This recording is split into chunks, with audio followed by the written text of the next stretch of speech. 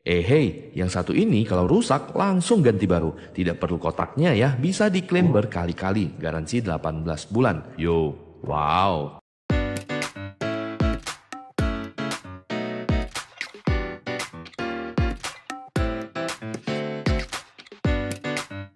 Gue dikirim. Gue dikirim dari Admic buat nyobain adaptor charging mereka.